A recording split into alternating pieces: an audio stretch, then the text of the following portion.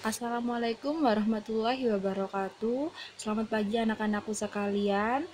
Uh, hari ini Bu Dewi akan menjelaskan atau akan membahas untuk mata pelajaran PKWU. Kemarin kalian sudah mengerjakan uji kompetensi di LKS halaman 20 sampai 23. Kemarin yang sudah mengerjakan sudah Bu betulkan jika jawabannya salah. Tapi hari ini Bu Dewi akan bahas satu persatu dari soal yang sudah kalian kerjakan kemarin. Gunanya apa? Untuk mempersiapkan kalian agar kalian semua siap untuk menghadapi e, penilaian harian bersama supaya nilai-nilai kalian di atas KKM semua dan tidak ada remedi. Anak-anakku, sebelum kita memulai pembelajaran hari ini, alangkah lebih baiknya kita berdoa bersama terlebih dahulu. Berdoa dimulai. Berdoa selesai, anak-anak jangan lupa kalian untuk menyiapkan LKS PKWU dan segera dibuka untuk halaman 20 karena kita akan membahas satu persatu dari soal yang ada di buku LKS tersebut. Baik anak-anak, sekarang kita akan memulai untuk membahas uji kompetensi 1 di halaman 20. Coba kalian perhatikan nomor 1. Di situ e, terdapat soal suatu kemampuan dalam hal menciptakan kegiatan usaha dan kemampuan menciptakan tersebut membutuhkan adanya kreativitas dan inovasi yang terus-menerus untuk menemukan sesuatu yang berbeda dari yang sudah ada sebelumnya. Disebut kira-kira jawabannya apa? A. Usaha B. Peluang usaha C. Kewirausahaan D. Wirausaha dan E. Kewirausahaan Jawaban yang benar adalah yang E Jadi kewirausahaan Jadi kalau kemampuan untuk menciptakan hal-hal baru itu adalah kewirausahaan Kalau orang yang melakukan baru namanya wirausaha dari sini ada yang ditanyakan. Kalau ada yang ditanyakan, silakan kalian menghubungi Bu Dewi supaya kalian tidak kebingungan. Kalau tidak ada yang ditanyakan, kita akan melanjutkan di soal nomor 2. Perhatikan untuk soal nomor 2, berikut yang bukan merupakan keunggulan ataupun manfaat yang dimiliki kewirausahaan adalah A. Sebagai pendukung pertumbuhan ekonomi B. Meningkatkan produktivitas C. Mempunyai banyak sumber kemampuan D. Menciptakan perubahan dan kompetensi pada pasar E. Menciptakan teknologi, produk, dan jasa Mana kira-kira jawabannya? Diperhatikan soalnya Yang bukan berarti yang kecuali mana jawabannya? Jawabannya adalah yang C, mempunyai banyak sumber kemampuan. Karena itu bukan merupakan keunggulan ataupun manfaat dari kewirausahaan. Kita lanjutkan. Selanjutnya untuk soal nomor 3 diperhatikan. Berikut yang merupakan pengertian dari sektor formal adalah kalian bisa membuka LKS di halaman 13. Di situ ada pengertian dari sektor formal. Kira-kira apa jawabannya? Yang benar adalah A. Sektor formal adalah kegiatan usaha yang dikelola sedemikian rupa sehingga kegiatan bersifat tetap atau menjadi tumbuhan harapan pengelola. Kemudian kita lanjutkan untuk soal nomor 4. Pengertian sikap dari perilaku wirausaha adalah anak-anak untuk jawaban soal nomor 4, kalian bisa membuka LKS halaman 16. Jadi ada e, pengertian sikap dari perilaku wirausaha adalah jawabannya yang benar apa? Yang. C cara pandang dan pola pikir atau mindset atas hal-hal yang dihadapinya. Kita lanjutkan untuk soal nomor 5. Diperhatikan soalnya, Seseorang yang mampu menggunakan fakta atau realita sebagai landasan berpikir yang rasional dalam setiap pengambilan keputusan maupun tindakan atau perbuatannya adalah sifat Jawabannya kalian bisa buka LKS halaman 15. Apa jawabannya? Jawabannya yang B, realistis. Jadi orang yang realistis itu melakukan pengambilan keputusan disesuaikan dengan fakta dan realita yang ada. Kita lanjutkan di nomor 6. Perhatikan untuk soal nomor 6. 1. Mempunyai banyak sumber kemampuan. 2. Mengikuti acara pelelangan. 3. Meningkatkan kegiatan ekonomi suatu negara 4. Memajukan ekonomi bangsa dan negara 5.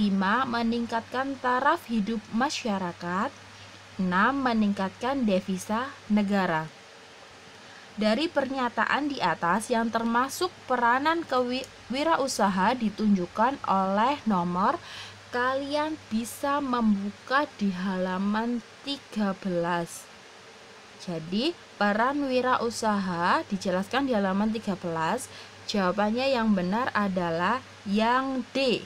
3, 4, 5, dan 6 Jadi 1 dan 2 itu bukan termasuk peran wirausaha. Kita lanjutkan anak-anak. Selanjutnya untuk soal nomor 7 Perhatikan soal nomor 7 Seorang wirausaha berdedikasi tinggi terhadap bisnisnya tidak mengenal lelah, kadang-kadang mengorbankan kepentingan pribadi. Disebut ada di LKS kalian halaman 10.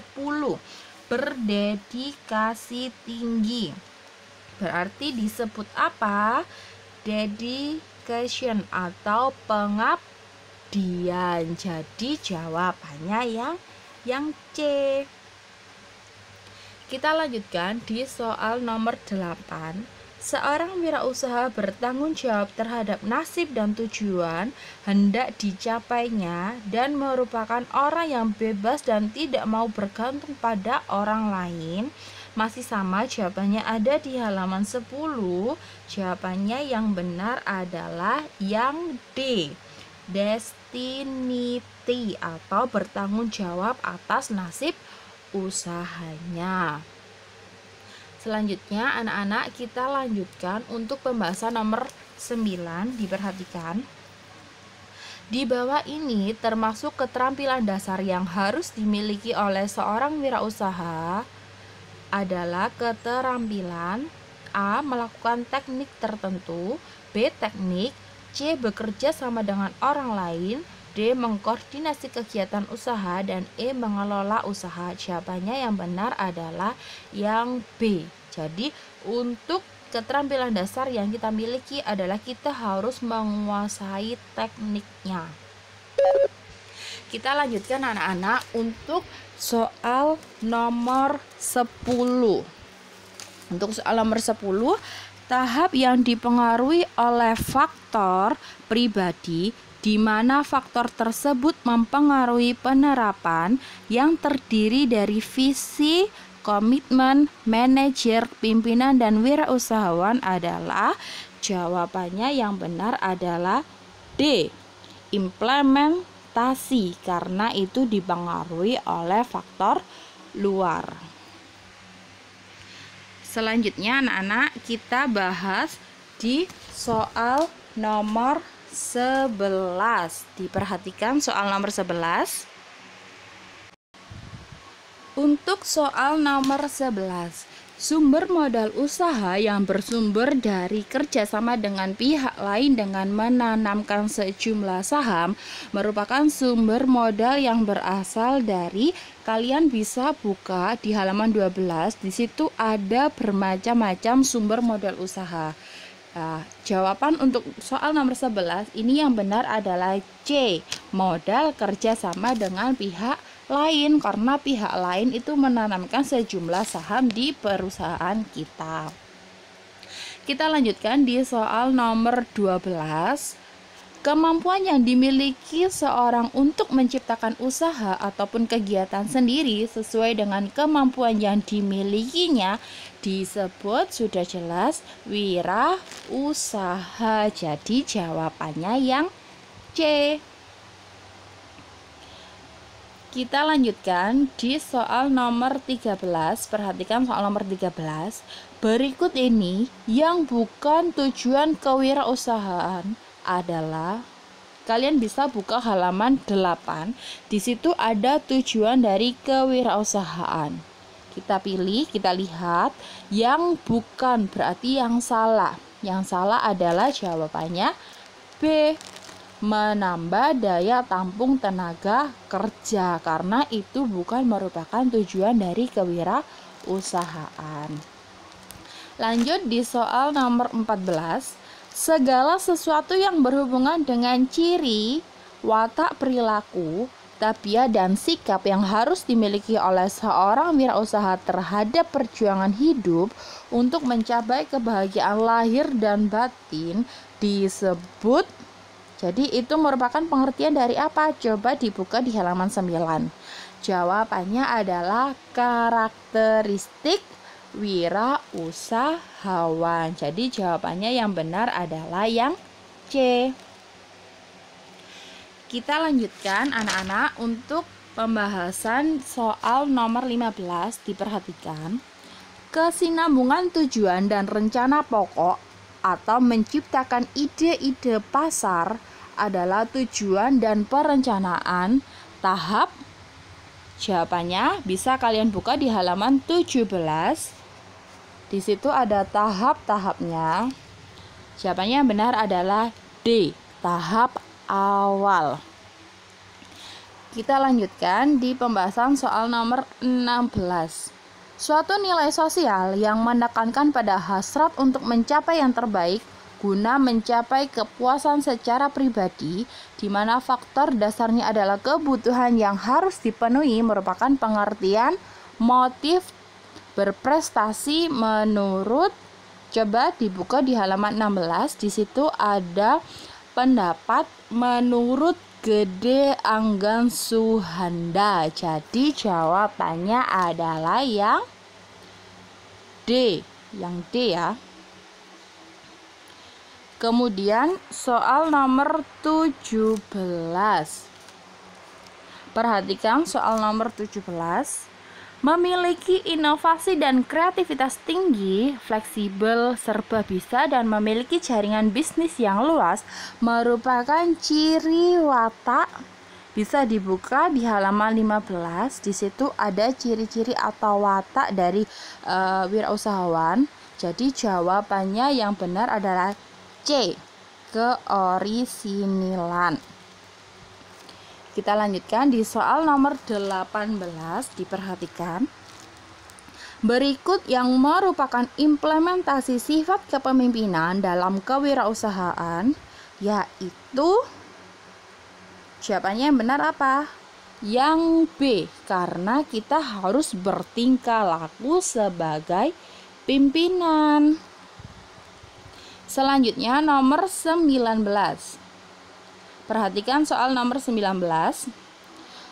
Komitmen tinggi yang dimiliki seorang wirausahawan yaitu dia harus bisa mendapatkan hasil maksimal dengan sumber daya yang minimal. Jadi seorang wirausahawan itu harus mengeluarkan sekecil mungkin dan mendapatkan sebesar mungkin. Jadi jawabannya yang C. Betul. 20, perhatikan soal nomor 20. Jika seorang menyukai bidang yang sedang dikerjakan dan menjalani secara optimal disebut minat karena dia mengerjakan sesuai dengan yang diinginkan. Jadi jawabannya yang A.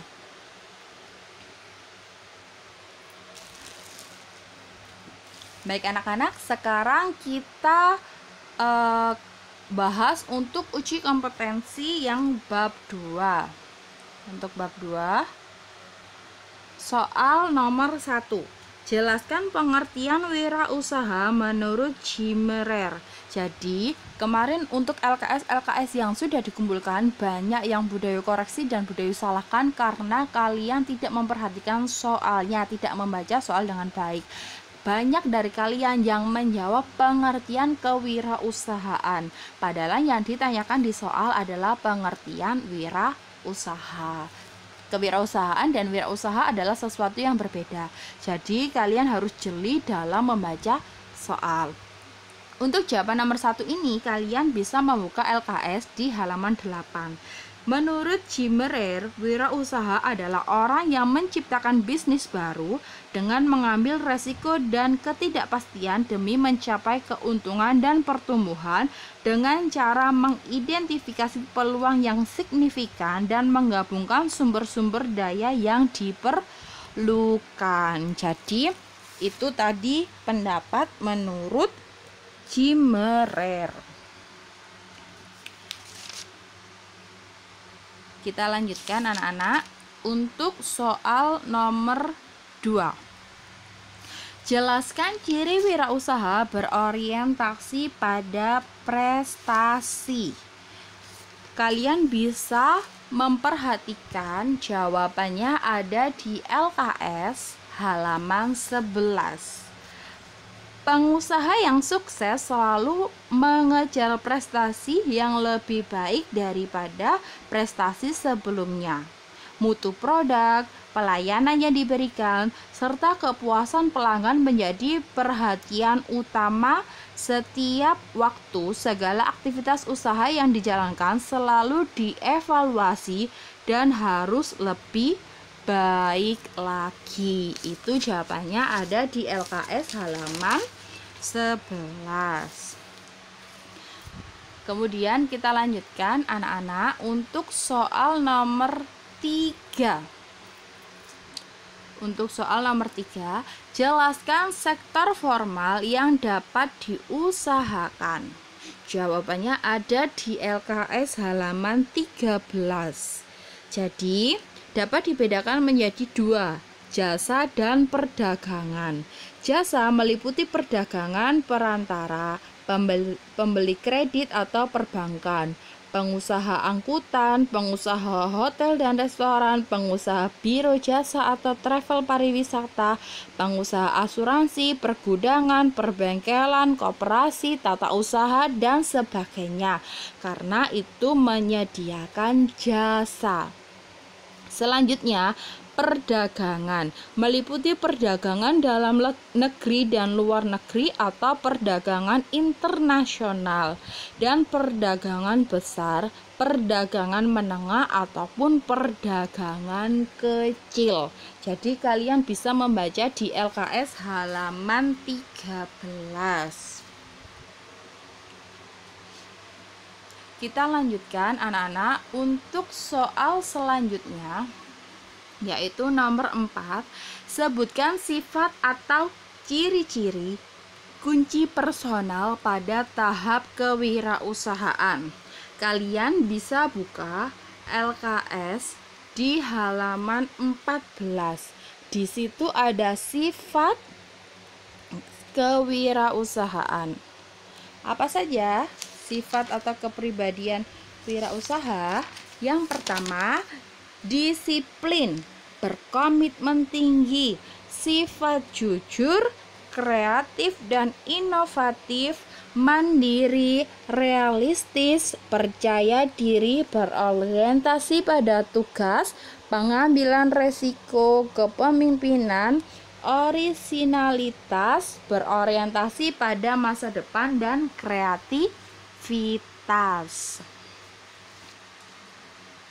Selanjutnya anak-anak untuk soal terakhir Jelaskan ide yang dikemukakan oleh Peggy Lambing. Jawabannya ada di LKS halaman 17 jadi menurut Peggy Lambing, ide merupakan komponen utama yang harus dilakukan di mana hasil survei menunjukkan bahwa untuk mendapatkan ide dapat berasal dari pengalaman yang diperoleh ketika mereka bekerja di beberapa perusahaan dan bidang profesional lainnya dengan cara mengoperasikan usaha dan cara-cara membuat kontak jaringan kerja.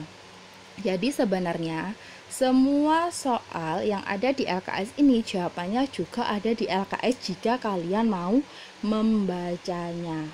Saya lebih menghargai kalian walaupun nilainya ada yang di bawah KKM tapi kalian mau mengumpulkan tepat waktu daripada yang tidak mengumpulkan sama sekali.